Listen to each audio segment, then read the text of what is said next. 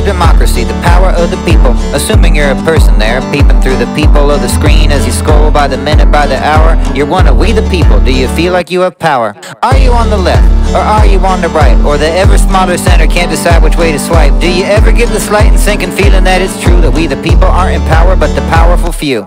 Cause while me and you, we the people divided Keep on viewing the news that keeps our views one-sided The lobbyists keep lobbying to keep the few elected Who will keep the system running as their funders expected it And then the next election comes and all of our attention Gets absorbed within the tension of which president we end with And no matter which you're packaged with It seems the other side is psychopathic in the panic of the system that divides Sound familiar? It's the system, bro, but we can change the system. That's something we can agree on. It isn't you or me that perpetuates the evil. It's the go go go go government. Corruption is legal.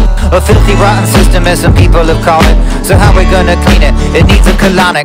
The thing that's really toxic is the notion it's impossible to synthesize the opposites. It's not ideological. It's structural injustice. It's not me against you.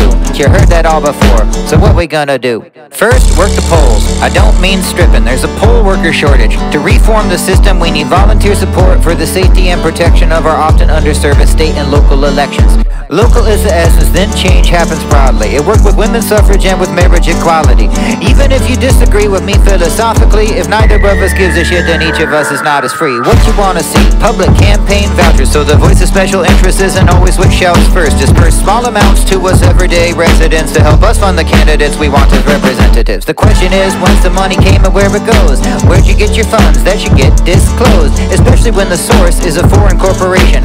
What were the concessions that their contributions came Bypass the companies that got the biggest pockets to flood the whole process with their ill-begotten profits. I guess we can't depend on a politician's conscience, so ban stock trades while officials are in office.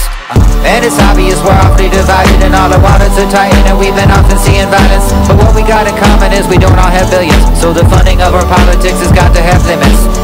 But who can tell what policies to trust when those who vet the government that regulates us may oppress the very freedoms they're designed to undersign? Who watches the watchmen that watch us online?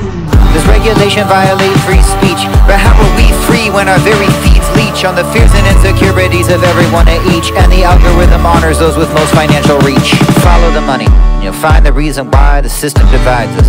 It isn't you and I who truly disagree, and if we do, then we can find a solution true and kind and see through the party lines. And even these lines about rescuing democracy, you may think it's just some old centrist ideology that honestly is not for me, and I can see that truth. But being truly radical means being at the root, and the root of the problem is the misuse of wealth has influenced the laws that run the system itself. And if we can change that, we can root out the evil and have a government that's run by we the people.